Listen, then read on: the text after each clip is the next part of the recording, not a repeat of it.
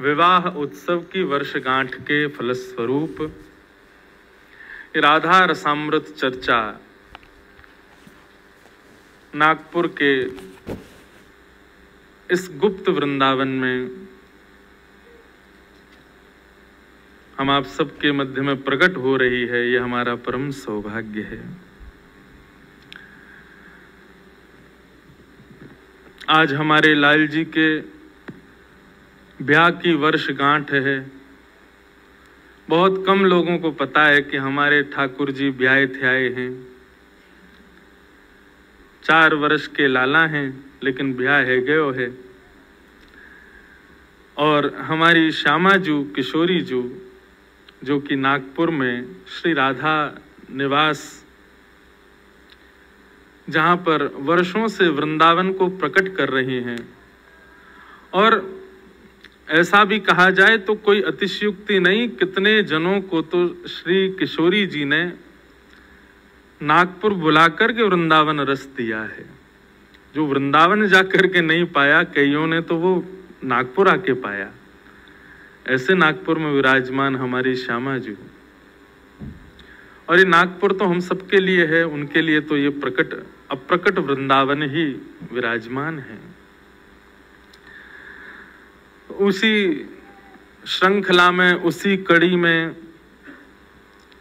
पिछले साल भी यहाँ पर ये मंगल उत्सव हुआ। ब्रज चर्चा, ब्रजरस चर्चा, किशोरी जी की मंगल चर्चा हम आप सबने श्रवण की। और इस वर्ष भी वही चर्चा, श्रवणार्थ हम आप सब बैठे हैं।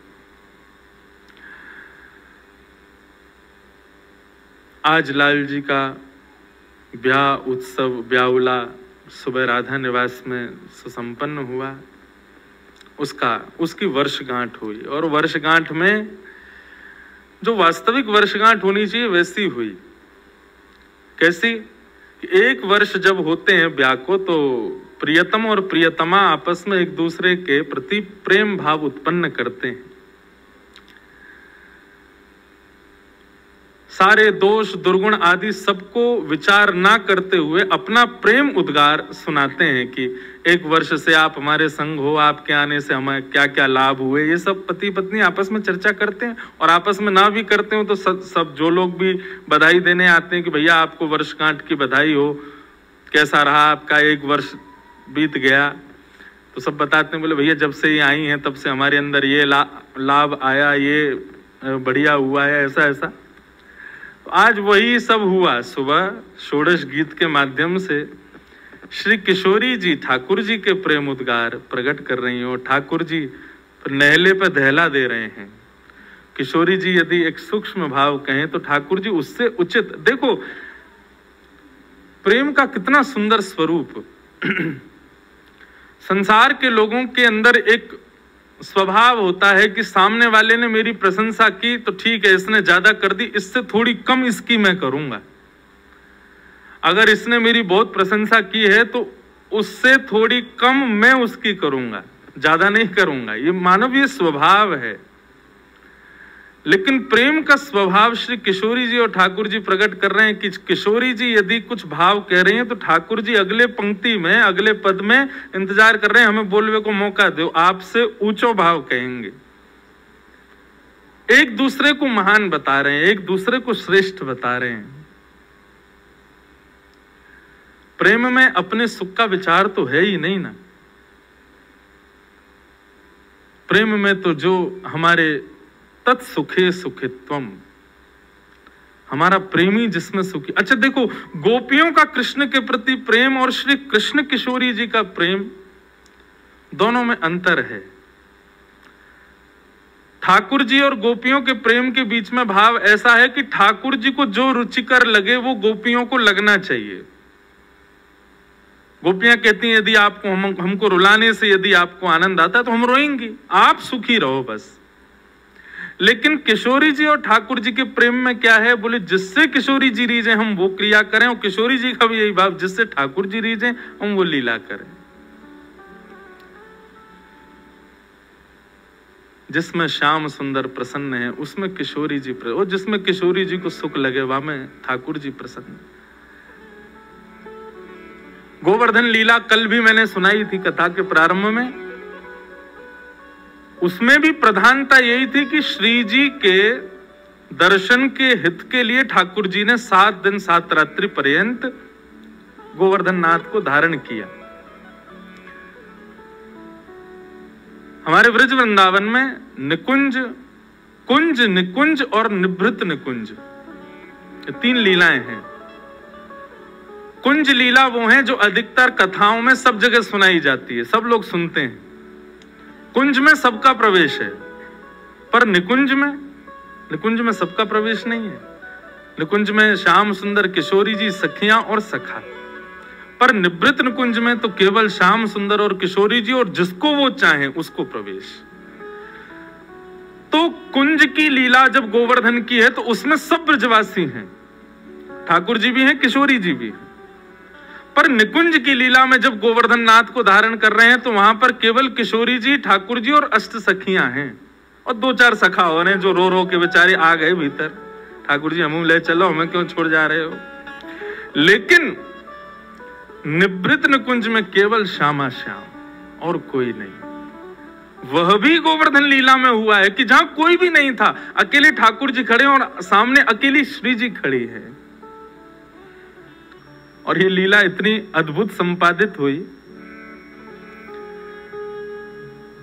एक चंद्रावली नाम की गोपी है। तो ठाकुर जी तो ऐसे हैं कि ठाकुर जी सबको सुख देते हैं। जितनी भी गोपियाँ हैं, चाहे वो ललता विशाखा भले ही मुँह पे खूब गारी गलौज होती हो, एक दूसरे को मारपीट करवे को भाव रखते हो, लेकिन एकांत में ठाकुर जी उनको भी सुख देने जाते हैं। अब लोग इसमें मन में विचार कर सकते हैं कि ठाकुर जी सबको सुख क्यों देते हैं? वो सबको सुख इस भाव से नहीं देते कि वो सुंदर है या उसका गुण अच्छा है या उसका भाव अच्छा है। ठाकुर जी को ये भाव लगता है कि ये ललिता है, ये विशाखा है, ये चंद्रावली है आदि आदि सखियाँ हैं। किसी ना किसी रूप में श्री जी के समीप रहती हैं। ये ठाकुर जी के चरण स्पर्श करती है ये किशोरी जी के चवण डोराती है ये किशोरी जी का श्रृंगार करती है। इस बात से ठाकुर जी रीझ के उन, उन उनको भी सुख देने जाते हैं। उनके संग भी लीला करते हैं। केवल इसलिए क्योंकि उनका श्री जी से संबंध है।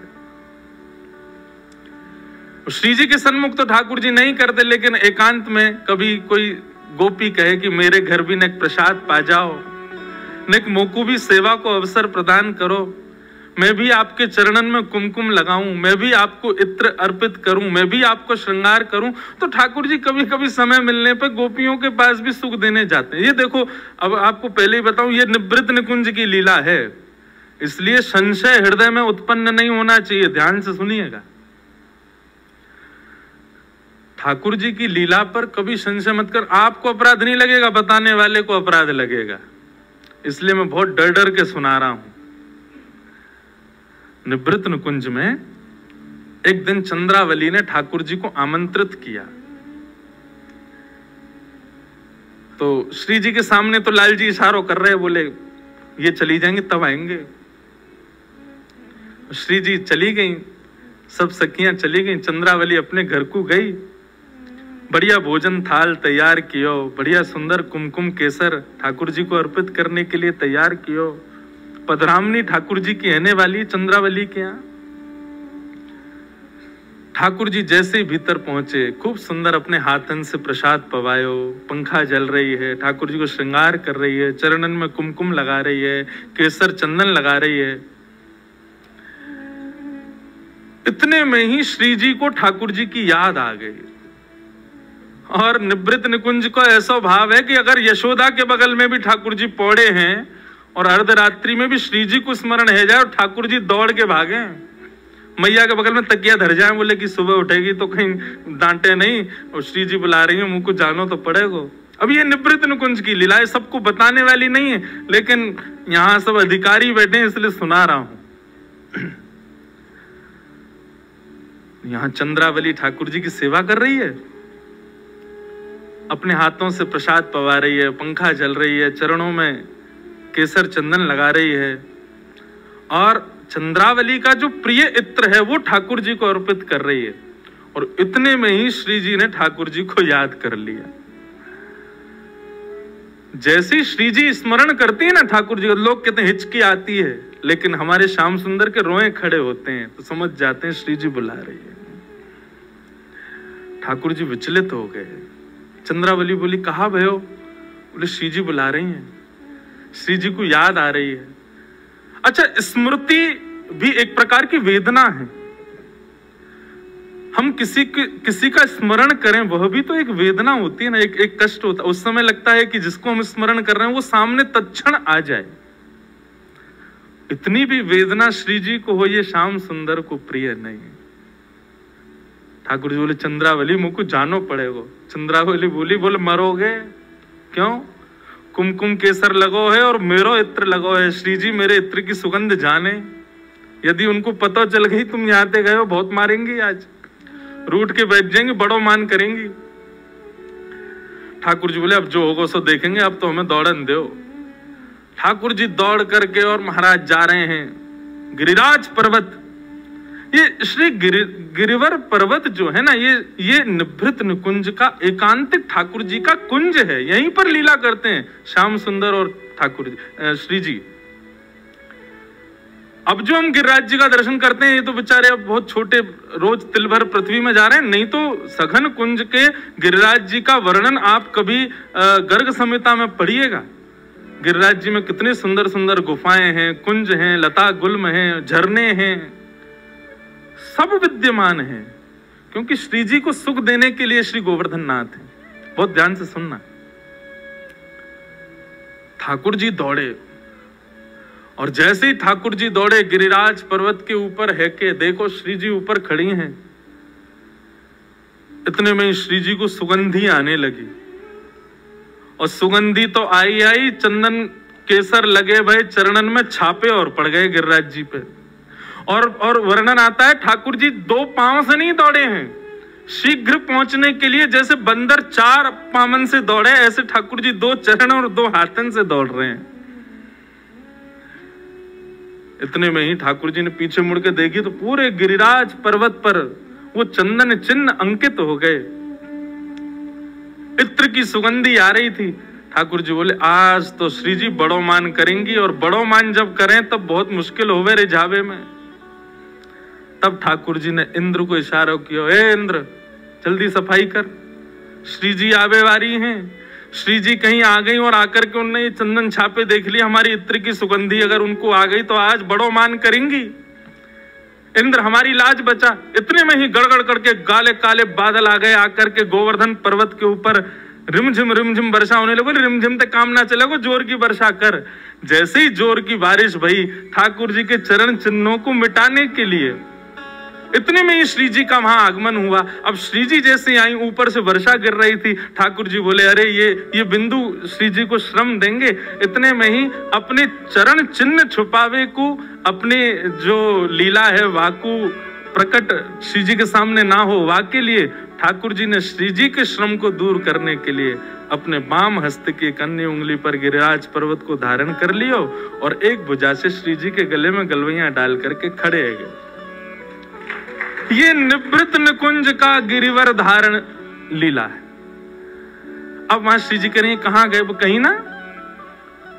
अब तो कछु पता ही ना चलेगी, क्योंकि चिन्ह विन्न सब धुल गए, सब मिट गए ऊपर से। गिरिराज जी पर इतनी वर्षा भैया अब श्री जी को कहा पता चलेगी? तो ऐसे श्याम सुंदर, ये गोवर्धन धारण लीला में अधिकतर भाव श्री जी की प्रसन्नता है। तो कल जो हमने सुने थे, वो निकुंज की गोवर्धन धारण लीला थी। आज जो हमने सुनी है, ये आज की निवृत्त निकुंज में गोवर्धन धारण लीला है। दोनों में श्री जी को सुख देने के लिए ठाकुर जी ने गिरिराज जी धारण किए, इसीलिए हमारे प्यारे हृदय के ठाकुर श्री गिरधर लाल ये श्री जी को सुख देवे के काजे ही ऐसे खड़े हैं, इसलिए ये इनको नाम ही श्रीनाथ है। श्री यानी श्री राधा। उनके जो नाथ हैं, वही श्रीनाथ। अभी हम लोगों का प्रवेश कुंज में है। भक्ति भाव और इन रसिक जनों की वाणी सुनकर के बंधुओं, अपने चित्त में, अपने हृदय में श्री जी और ठाकुर जी की लीला को स्मरण करना चाहिए और उससे प्रयास करना चाहिए कुंज से धीरे धीरे हम निकुंज में जाएँ और निकुंज से धीरे धीरे निवृत्त निकुंज की प्राप्ति हो। निवृत्त कुंज क्या है? निवृत्त निकुंज में केवल श्याम सुंदर और किशोरी जी हैं और कोई नहीं है। हमारे वृंदावन में कहते हैं कि वृंदावन में जो प्राण त्याग देता है ना, उसको स्वर्ग, नरक और वैकुंठ गोलोक ये सब नहीं मिलते। तो बोले, वृंदावन में प्राण त्यागने वाला व्यक्ति अप्रकट वृंदावन में प्रवेश कर जाता है। अप्रकट वृंदावन का रूप सुनो। कैसा रूप है अप्रकट वृंदावन का?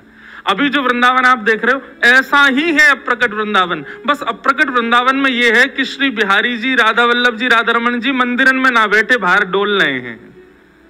वो लीला करते हुए घूम रहे हैं। रसिक शिरोमणि स्वामी श्री हरदास जी महाराज, श्री हितरवंश महाप्रभु, श्री गोपाल भट्ट गोस्वामी, श्री मधुसूदन पाद सरस्वती ये सब लोग उस वृंदावन वृत उस अप्रकट वृंदावन में विचरण करते हैं। इसलिए हमारे यहाँ ब्रज में अब तो ऐसा नहीं है, पर हमने रसिक जनों से सुना है कि प्राचीन वृंदावन में जब किसी व्यक्ति के प्राण छूट जाते थे तो वृंदावन के ब्रजवासी मृदंग और साजवाज लेकर के यमुना तट पर जाते थे। और वहाँ जब अंत्येष्टि संस्कार चलता था ना, उतनी देर पद गायन करते थे। बहुत सुंदर पद है। हरिदासी परंपरा के लोग आशावरी राग में इस पद का गायन करते हैं। आह। ये पद एक पंक्ति बताने के लिए ही गा रहा हूँ, लेकिन अब इतना सुंदर पद है एक आध पंक्ति क्यों ही पूरा पद सुनो? कितना सुंदर भाव। हमारे वृंदावन में जब किसी के प्राण छूट जाते हैं। अच्छा एक और बात।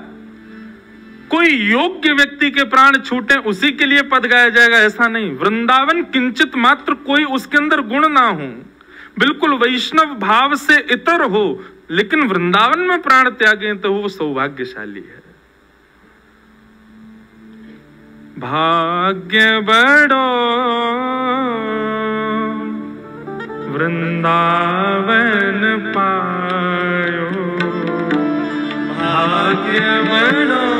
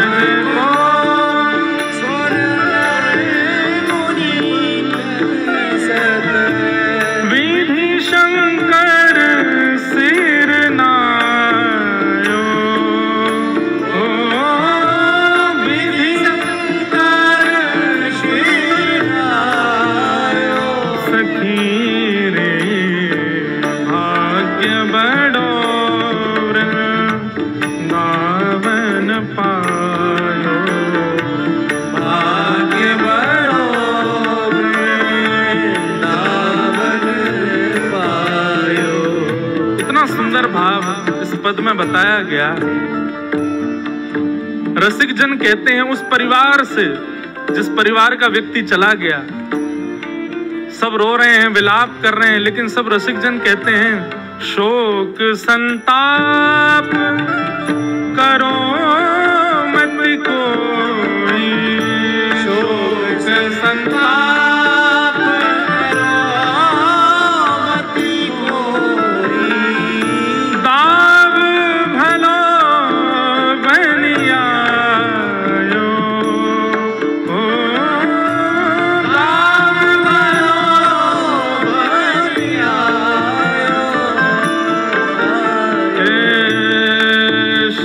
रसिक बिहारी की गति पार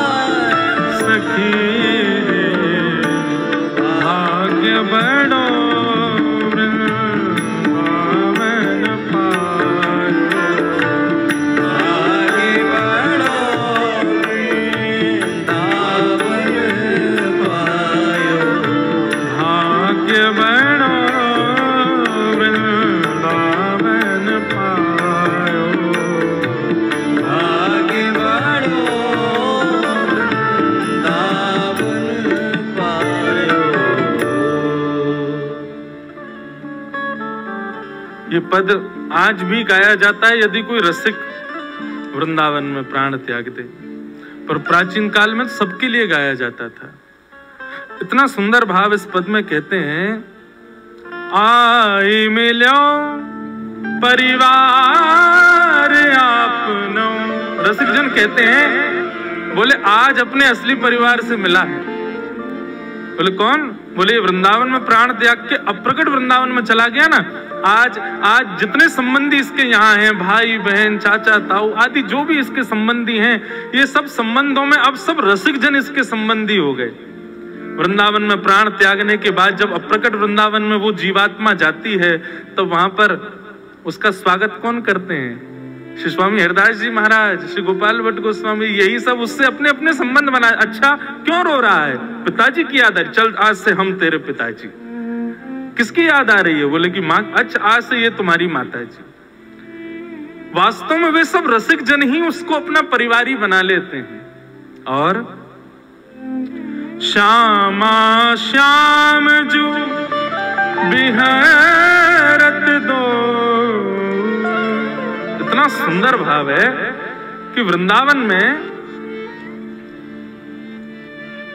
जब कोई व्यक्ति प्राण त्याग देता है तो उसके संबंधियों को उसके असली परिवार से कौन मिलवाता है? बोले, श्यामा श्याम ही मिलवाते हैं। श्यामा श्याम जू बिहरत दो सखी समाज मिलायो। जैसे यहाँ दोनों युगल सरकार गलवैया डाले हैं, ऐसे ही दोनों के बीच में वह वह वृंदावन से प्राण त्यागने वाले वह जीवात्मा को दोनों अपने बीच में रख लें। एक तरफ़ से किशोरी जी गले में गलवैया डालें, दूसरे तरफ़ से ठाकुर जी डालें और फिर वाकू सब सखी समाज सखी समाज मतलब सब वैष्णवाचार्य जो जो वृंदावन से प्रस्थान करके उस अप्रकट वृंदावन में गए हैं, उनसे परिचय दोनों करवाते हैं। जैसे हॉस्टल में आने वाले बच्चे को, जो हॉस्टल के टीचर होते हैं, वो बाकी के बच्चों से मिलाते हैं ना। ऐसे ही अप्रकट वृंदावन में दोनों युगल सरकार उस जीवात्मा को कष्ट ना हो, इसलिए सबसे मिला। वैसे कष्ट होगा क्यों? इस संसार को छोड़ करके कोई युगल जहाँ विराजे हो, वहाँ और रसिक जनों के बीच में पहुँचा, उसको श्रम होगा क्या? उसको कष्ट होगा क्या? इसलिए भैया, वृंदावन के रसिक जन कहते हैं, भाग्य बढ़ो, वृंदावन पायो। अच्छा देखो। इन पदों को आप साधारण शब्द मत समझो। बड़े बड़े इनमें रहस्य छुपे हैं। अब यहाँ से ये नहीं कहा कि भैया भाग्य बढ़ो जो यानी वृंदावन ते प्राण त्यागे। वो कह रहे हैं, भाग्य बढ़ो, वृंदावन पायो। मतलब वास्तविक वृंदावन पाना तो वृंदावन में अंतिम श्वास लेना ही है। असली वृंदावन तो वही है। तभी मानो जब वृंदावन में प्राण छूटे।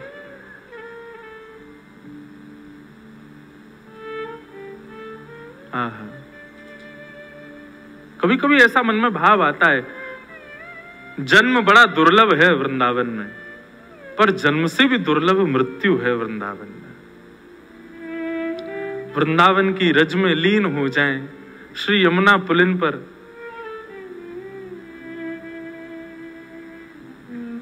बहुत भाव आते हैं। Vrindavan Vrindavan is equal to Shri ji Shri ji और वृंदावन दोनों में कोई भेद नहीं है। हमारो श्री वृंदावन स्वयं श्री जी ही है। कल हम और सर्वेश भैया बात कर रहे तो मन में भाव आयो, मैंने कि भैया, हमारे वृंदावन में बिहारी जी, राधा वल्लभ जी, राधा रमन जी, सबके दर्शन है। किशोरी जी कहाँ है? मंदिरन में ठाकुर जी बैठे हैं। लाडली जी कहाँ है? मैंने लाडली जी तो विचरण कर रही हैं। वृंदावन में सदा विहार करती रहती हैं। और ऐसा भी होता है ना कि कोई जब व्यक्ति बहुत उसको बहुत कार्य होते हैं तो वो अपना एक प्रतिनिधि छोड़ देता है। हम आपसे मिल जाएँगे बोले, मैं तो मिलूँगा नहीं, मेरा प्रतिनिधि मिल जाएगा, मेरा पीए मिल जाएगा। तो ऐसे ही वृंदावन जाते हैं तो ठाक किशोरी जी के प्रतिनिधि के रूप में बिहारी जी मिलते हैं। प्रतिनिधि हैं श्री राधा रमन जी राधा वल्लभ जी बिहारी जी ये सब प्रतिनिधि हैं हमारी श्यामाजू के। श्यामाजू कहाँ हैं? अरे भैया सामान्य कितने लोग वृंदावन जाते हैं? सबसे थोड़ी श्यामाजू मिलेंगी। श्यामाजू तो उन सब रसिक जन के ध्यान उन, उन सब रसिक जनन के ख्याल रखवे जामे जो अनंत दिनों से श्यामा श्याम की युगल उपासना कर रहे हैं ध्यान कर रहे हैं परन कुटी में बैठ करके श्री राधा श्री राधा श्री राधा नाम की ध्वनि से अपना मंगल भाव प्रवाहित कर रहे हैं। किशोरी जी तो वहाँ में व्यस्त है। उन सबन के ध्यान धरवे में व्यस्त हैं। बाकी भीड़ इतनी वृंदावन में आ रही है, सब रसिक थोड़ी हैं। सबसे मिलवे के काजी ठाकुर जी छोड़ रखे तुम ही मिलो। जो रसिक शिरोमणि है, जो रसिक श्रेणी के हैं, किशोरी जी तो उनके ध्यान में व्यस्त हैं। उनको ध्यान दर उनको ध्यान लगा रही हैं। उनको ध्यान कर रही हैं।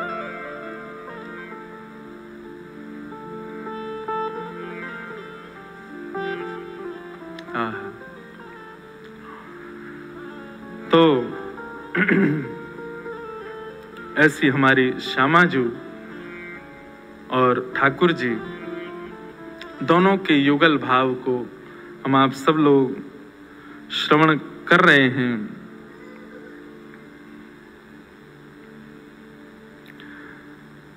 और लीलाएँ तो हम सुनते ही हैं, सुनेंगे, कल हमने दूध दोहिन लीला सुनी, आज भी कोई लीला सुनेंगे ही। पर उससे पूर्व कुछ भाव श्री जी के उस अद्भुत रूप के बारे में हम श्रवण करें।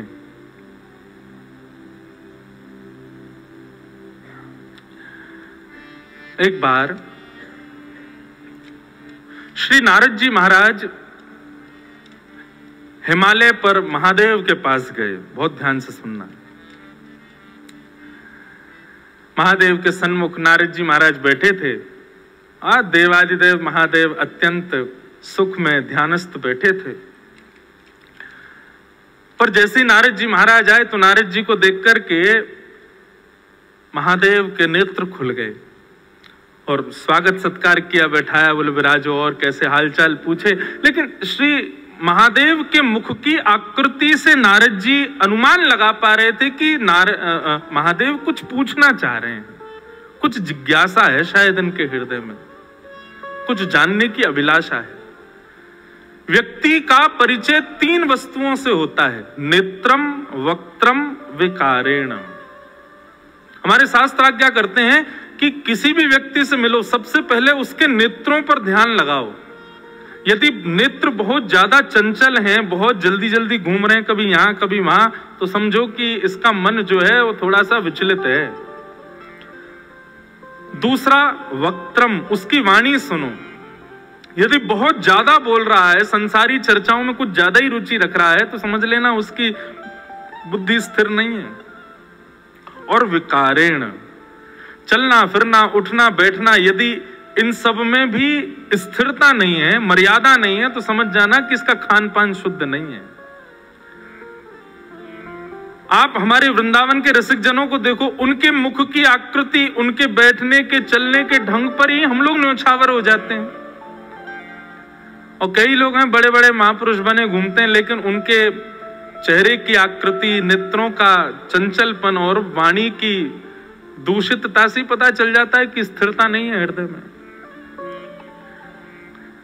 हमसे पूछो, हम तो दुनिया भर में जाते हैं। सामने वाला व्यक्ति प्रणाम जिस भाव से ज, जिस आकृति से वो प्रणाम करता उससे पता चल जाती है कितने पानी में। आजकल प्रणाम की बड़ी एक हाथ से प्रणाम और एक हाथ से भी कई लोग चरण नहीं छूते घुटने के ऊपर ही छू देते महाराज जी। प्रणाम।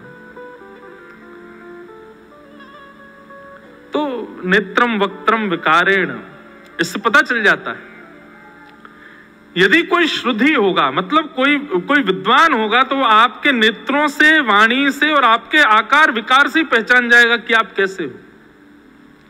नारद जी महाराज समझ गए। हे महादेव, आपके हृदय में कोई जिज्ञासा है क्या? सोचो, महादेव के हृदय में भी जिज्ञासा होती है। महादेव बोले हाँ एक जिज्ञासा तो है। बोले, क्या जिज्ञासा है? बोले, जिज्ञासा ये है कि मैंने नारायण के खूब दर्शन किए, विष्णु रूप के दर्शन किए, उनके विराट रूप का मैंने दर्शन किया शंख चक्र गदा पद्म चतुर्भुज रूप का मैंने दर्शन किया, वे मत्स्य बन के आए मैंने दर्शन किया, वे कुर्म बन के आए मैंने दर्शन किया, हर स्थिति में मैंने दर्शन किया। दर्शन का मतलब क्या होता है नारद? हृदय स्थिर हो जाना। एक बार देख लिया तो बस लगा कि अब इसके बाद कुछ बचा ही नहीं है। ये स्थिति मेरी अभी तक नहीं आई है। मैंने अनेक रूप नारायण के देख लिए, लेकिन स्थिरता अभी तक मतलब बार बार जिज्ञासा होती है, और कुछ देखूँ, और अच्छा देखूँ, और कुछ, एक ठौर नहीं मिली है मुझे। मेरी इच्छा है उस रूप के दर्शन करने की। कैसा रूप? तब महादेव कहते हैं, यद रूपम ते कृपा सिंधो परमानंददायकम। मुझे उस रूप का दर्शन करना है जो परम आनंद को प्रदान करे और स्वनिंदाश्रम नित्यम मूर्तिमन सर्वतोदिकम ऐसा स्वरूप जो इन सब स्वरूपों को भी अपने ऊपर न्योछावर कर लेता हो। मतलब कौन कौन से स्वरूप? चतुर्भुज रूप, विराट रूप मत्स्य रूप, कुर्म रूप नृसिंग रूप, ये सब भी उसके ऊपर न्योछावर हो जाते हो। निर्गुणम, निष्कम्यम, शांतम यद्येति विदुबुधा तदहम दृष्टुमिच्छामि। चक्षुभ्याम परमेश्वर। निर्गुणम निष्क्रियम शांतम विदुर्बुधा तदहम दृष्टुमिच्छामि चक्षुम्याम परमेश्वर। मुझे ऐसे रूप का दर्शन करना है। सीधी बात पूरा वेद क्यों सुनाऊं? शंकर जी कह रहे हैं, जिसको देखने के बाद कुछ और देखने की इच्छा ही ना रहे मेरे भीतर, ऐसा रूप मुझे देखना है। नारद जी बोले, आपने ये जिज्ञासा ठाकुर जी से कही? बोले, उनसे कहने की मेरी हिम्मत नहीं हो रही। क्यों? बोले, ये जितने रूप वो धारण करते हैं, हर बार मेरे कहने पे ही तो करते हैं कि अब आपको ऐसे देखना चाहता हूँ, अब आप वो इतने सारे रूप धारण कर चुके हैं, मुझे भी लगता है बेचारे परेशान हो जाएँगे, इसलिए मेरी इच्छा नहीं। बोले, नहीं नहीं, अब चलो। तब नारद जी और शंकर जी दोनों ने जाकर के ठाकुर जी से प्रार्थना की कि, हे नाथ, हमारे महादेव कुछ जिज्ञासा कर रहे हैं। बोले, कैसी जिज्ञासा है? बोले, आपके ऐसे रूप का दर्शन करना है, जिसके बाद नेत्रों को कुछ देखने की इच्छा ही ना रहे। ठाकुर जी बोले, भैया, ऐसा रूप तो एक ही है। जा रूप को देख करके मैं श्याम सुंदर भी और कोई को ना देखना चाहूँ, वो रूप। और वो रूप कौन का है? कदापि वसना चखलेन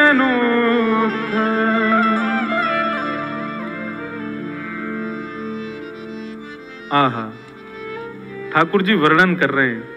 वो रूप कैसा है? आहा। आज हम थोड़े अपने रसिक जनों के भी कुछ भाव लेके आए, जो वैष्णव जनों ने बताए हैं। स्वयं ठाकुर जी बता रहे हैं कि ऐसे कैसे कैसे रूप हैं, जिन पर वे स्वयं न्योछावर हो जाते हैं। तब ठाकुर जी वर्णन करते हुए कहते हैं, भैया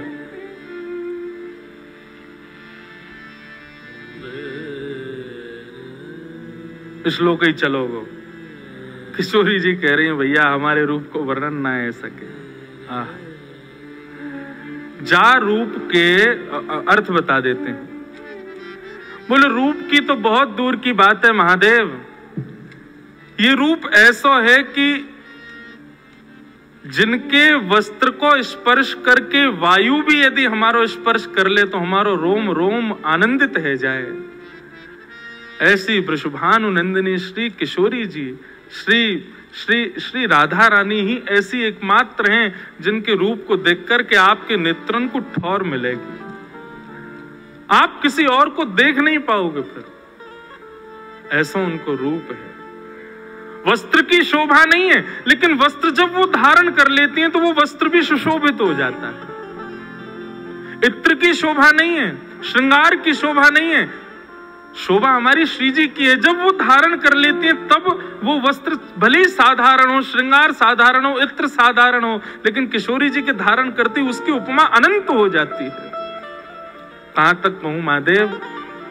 हमारे रूप तो अनेक हैं, हमारे अवतार तो अनेक हैं, लेकिन कृष्णावतार सर्वप्रिय इसलिए है क्योंकि श्री जी ने उसको देखा है। क्योंकि श्री जी की दृष्टि उस अवतार पर पड़ी है। हमारे उस कृष्ण रूप को भी अत्यंत शोभनीय बनाने वाली ऐसी श्री जी को जब आप देखोगे, तब आपके मन को ठौर मिलेगी। महादेव घुटनों के बल बैठ गए, बोले कि कैसे होंगे उनके दर्शन? बोले, उनके दर्शन के लिए वो तो बड़ी सहज है, बड़ी सरल हैं, कृपा करती हैं। बस पुकारनो तो थोड़ा पड़े हो ना आपको। पुकारो, आएँगी श्री जी दर्शन देंगे। हमारे आप विश्वास माने, और कई लोग जानते भी होंगे श्री जी का जितना गायन देव आदिदेव महादेव ने किया, उतना किसी ने नहीं किया। राधा कृपा कटाक्ष कौन गा रहे हैं? महादेव गा रहे हैं। राधा सहस्त्र नाम गोपाल सहस्त्र नाम आदि आदि कितने भावों में स्वयं श्री महादेव ही श्री जी के रूप को उजागर करते हैं, और किसी में सामर्थ्य नहीं है। ऐसे महादेव श्री जी को पुकारते हैं, श्री जी का स्मरण करते हैं। और जब श्री जी का दर्शन उनको हुआ, इसीलिए महादेव अत्यंत रूप से जहाँ भी कहीं बैठे हैं तो उनके मुख की आकृति दिखाई नहीं है। लिंग के रूप में पूरे भारत में विराजमान है। क्यों? वो समाधिस्थ शिव हैं। किसकी समाधि में? बोले श्री जी की समाधि में। हमारे श्री जी के सबसे बड़े उपासक ही महादेव हैं। जब से देखी हैं वृषभानुजा तब से ही समाधिस्थ बैठे हैं। एक आकार रूप में रहते हैं और सदा भीगे देव हैं। सबसे प्रार्थना करते हैं भिगाते रहो हमको। हमारे ऊपर जल डाल, डालते रहो। मैं तो अपनी अपनी एक निज बात बताऊँ। दुनिया के लोग महादेव के मंदिर में जाकर के ओम नमः शिवाय कह के जल चढ़ाते होंगे। हम तो श्री राधा राधा राधा राधा ये कह करके जल चढ़ा मैं और अपनी एक बिल्कुल वास्तविकता बताऊँ। काशी में मेरी कथा थी कुछ दिनों पूर्व। तो कथा करके मैं जैसे ही वापस आने लगा, कहीं और जा रहा था कथा करने। अंतिम दिन था कथा का। कथा करके रात्रि में ट्रेन पकड़नी थी तो हमने कि एक बार महादेव को प्रणाम करें आए। उस दिन पता नहीं कोई उत्सव था, जाने सोमवार था। इतनी भीड़ मंदिर में कि महाराज, वीआईपी, वीवीआईपी सब एक बराबर। दर्शन ही नहीं हो मैं कभी पुलिस कहे, वहाँ से आओ। कभी कहे, वहाँ से आओ, इधर से आओ। ट्रेन का समय हो रहा था। हमने कि शिखर को प्रणाम करके चले जाते हैं, भैया, आप दर्शन तो भीतर होंगे नहीं। लेकिन शिखर को प्रणाम करते करते मन में भाव आ रहा हो। भूल गए? वृंदावन में हम ब्रजवासी ने रोकवे तो मना कर दियो तुमको। जब महाराज हो रहा था, आए थे आप। तब हम ब्रजवासी ने रोक दिया। बोले, बाबा, पहले गोपी बनो तभी भीतर प्रवेश मिलेगा। हम ब्रजवासी ने तुमको ब्रज में प्रवेश दिया और आज हम ब्रजवासी तुम्हारे बिना दर्शन के जा रहे हैं। सत्य बात बता रहा हूँ। मैं ठीक है। शिकायत करूँगा तुम्हारी जाके ललता विशाखा थे शिकायत करूँगा श्री जी थे हम ब्रजवासी गए, काशी में जाकर कथा करी, दर्शन करवे गए, और बाबा इतना अहंकारी है हमें दर्शन ही नहीं दे रहा भीड़ में बैठो है। बस इतना कह करके मैंने देखेंगे, अब क्या आई हो तुम वृंदावन में? और जैसे ही उठ के जाने लगा, इतने में ही पीछे से पुजारी जी आ रहे थे। वो एक आध दिन कथा में आए थे तो उन्होंने कथा सुन अरे, व्यास जी, आप? मैंने कि हाँ भैया। हो गई कथा? मैंने हाँ बस जा रहे हैं। दर्शन? मैंने कि कहा? देखो, इतनी भीड़, पुलिस कह रही है, वहाँ से आओ, वहाँ से आओ, ट्रेन का समय। बोले, अरे, हाथ पकड़े सीधे महादेव के पास। जैसे ही शिकायत की बात कही कि अब वृंदावन। महाराज वीवीआईपी नेता आदियों को भी दर्शन रुक गए होंगे। उस समय हमको बुला लिया भीतर। बोले ना ना ना ब्रजवासी आओ भैया। अरे सॉरी गलती क्षमा। ऐसी श्यामा जू के परम उपासक हैं। देवों के ओ, देव भी नहीं है। देवों के भी देवों के भी देव महादेव। वो जिन श्री जी के चरणों का स्मरण करते हैं तो सोचो श्री जी कौन है?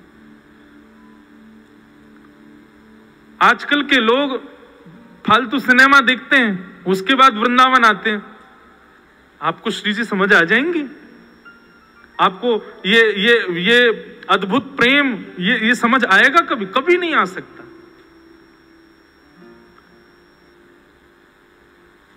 अद्भुत प्रेम के रस स्वरूपा हैं हमारे श्यामा जी।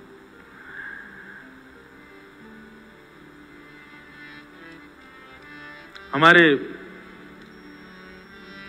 ब्रज में एक अद्भुत बिहारी जी के सेवक हुए, उनका नाम था श्री बिहारिन देव जी।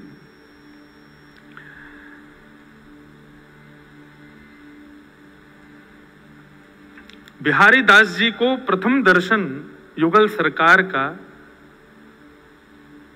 कैसे हुआ, इसकी बड़ी अद्भुत कथा हमारे हरिदासी परंपरा के वैष्णव जन सुनाते हैं। बिहरत लाल बिहारिन दो यमुना जी के तीरे तीरे। इतना सुंदर वर्णन है। बहुत ध्यान से सुनो। हमारी सामान्य कथाओं में आने वाले लोग अगर इस कथा में आएँगे तो हो सकता है उनको एक आध बात समझ में ही नहीं आवे। महाराज जी, कैसी कहाँ की चर्चा कर रहे हैं? भैया, ये निकुंज नहीं है। ये कुंज नहीं है ये निवृत्त निकुंज है। यहाँ तो अलग ही चर्चा है। श्री बिहारिन देव जी, बिहारी जी की सेवा करते थे। पहले बिहारी जी गृहस्थों से सेवा नहीं करवा रहे। अभी तो सदगृहस्थ गुसाई परिवार सेवा करते हैं। पहले तो बिहारी जी सन्यासियों से और विरक्तों से सेवा करा रहे थे। तो बिहारिन देव जी, बिहारिन दास जी बिहारी जी की सेवा करते थे और सेवा करते हुए उनके मन में एक ही भाव रहता था कि हे बिहारी जी,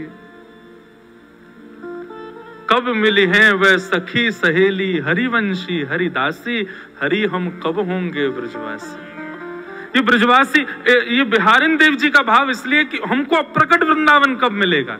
जहाँ स्वयं श्री हरिदास जी विराज रहे हैं, जहाँ स्वयं आचार्य चरण विराजते हैं, उस वृंदावन का दर्शन कब होगा? जहाँ आप युगल स्वरूप धारण करके विचरण करते हो, जहाँ यमुना में जल नहीं केसर युक्त, सुगंधित जल बहता है, जहाँ पर यमुना के तट पर रेणुका की बालू नहीं मड़ियों की बालू है, जहाँ पर वृंदावन में वृक्षों पर कोयल चहकती नहीं है चिड़ियाएँ चहकती नहीं है। श्री राधा, श्री कृष्ण नाम ध्वनि प्रकट करती हैं।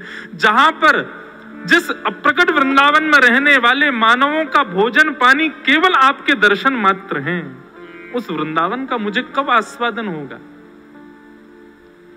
अप्रकट वृंदावन का थोड़ा भाव समझो। अप्रकट वृंदावन में यमुना जी नहीं बहती अप्रकट वृंदावन में सुगंधित श्री ठाकुर जी और किशोरी जी के चरणों का चरणामृत बहता है। सुगंधी आती रहती है। अप्रकट वृंदावन में श्री यमुना जी के तट की बालुका मणियों की है। अप्रकट वृंदावन में जो दर्शनार्थी भ्रमण करते हैं, वो कहीं भोजन पानी करने के लिए बैठते नहीं है। उनका भोजन, पानी, आस्वादन सब कुछ श्री प्रियालाल जी के दर्शन है। ऊँची ऊँची अटारियों पर वैष्णव जन खड़े होकर के केवल निहारते रहते हैं। कहा श्यामा श्याम की लीला चल रही है? तुरंत दौड़ करके वहाँ पहुँच जाते हैं और पहुँच करके ऐसे बैठते हैं कि उनको विक्षेप ना हो। केवल उनका दर्शन करना ही उनका सर्वस्व है। श्री बिहारी देव जी, बिहारी जी की सेवा करते हुए बोले, हे नाथ, मुझे भी उस अप्रकट वृंदावन में ले चलो। नित्य ये प्रार्थना करते थे बिहारी जी से। एक दिन बिहारी जी ने सुन ली और श्री बिहारी दास जी यमुना के तट पर सुबह सुबह भोर में दातुन कर रहे थे। और दातुन करते करते करते करते सुगंधी आने लगी, रेणुका मणियों में बदल गई। यमुना जी का जल हल्का हल्का पीत वर्ण का हो गया। अद्भुत सुगंधी यमुना जल में से आने लगी। वृक्षों पर बैठे हुए पशु पक्षी सब राधा कृष्ण नाम उच्चारित करने लगे। रसिक जन दौड़ दौड़ करके ठाकुर जी के दर्शन की अभिलाषा से घूमने लगे। इतने में ही सघन कुंज दिखाई दिया और सघन कुंज में दोनों युगल सरकार एक दूसरे के गले में गलवैया डाले, चलते हुए आ रहे हैं। ये बिहारिन दास जी को दर्शन हुआ और उन्होंने इस पद में उसका वर्णन किया। बिहरत, शब्द समझिएगा। हम ज़्यादा व्याख्या नहीं करेंगे, बस लेकिन आप प्रयास करना कि समझो, कैसा रूप है? बिहरत, लाल बिहारिन दो यमुना जी के तीरे तीरे। बिहरत लाल बिहारिन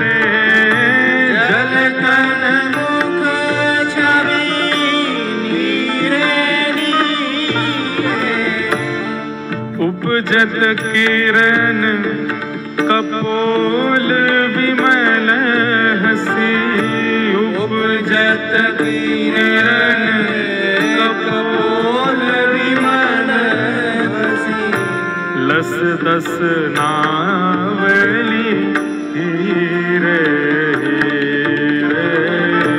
लस दस नावली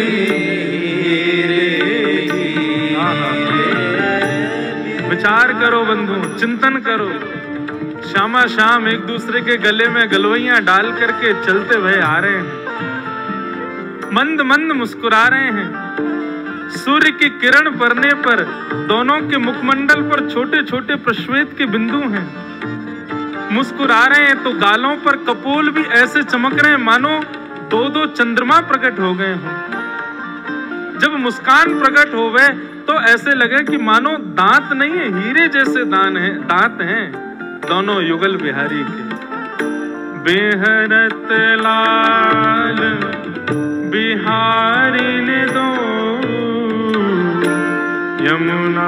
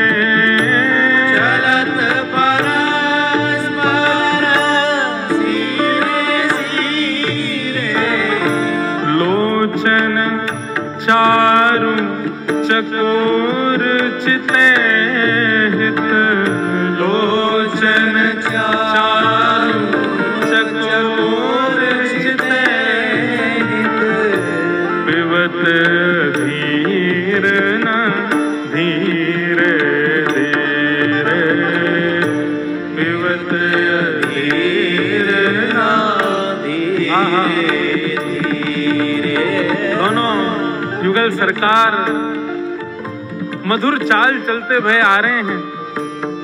तभी ज़ोर की हवा ब्यार बहे तो श्री किशोरी जी की अलकावलियाँ मुखमंडल पर आ जाती हैं तो ऐसा लगता है मानो पूर्णिमा के चंद्रमा के आगे बादल आ गए हों।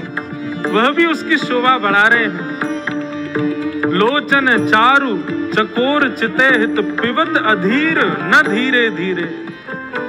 किशोरी जी श्याम सुंदर को देख रही हैं, श्याम सुंदर किशोरी जी को देख रहे हैं, परंतु नेत्रों का भी एक समय होता है, नेत्रों की भी एक अवधि होती है, उससे ज़्यादा देख नहीं सकते। जैसे जीव को पानी मिलने पर प्यास बुझ जाती है, ऐसे नेत्रों को भी दर्शन मिलने पर दृष्टि शांत हो जाती है। परंतु यहाँ पर ऐसी स्थिति है कि जितना पानी पी रहे हैं, उतनी प्यास और बढ़ रही है। ठाकुर जी, जितना श्याम सुंदर, जितना किशोरी जी को देख रहे हैं, उतनी ज़्यादा इच्छा और प्रकट हो रही है कि और देखूँ।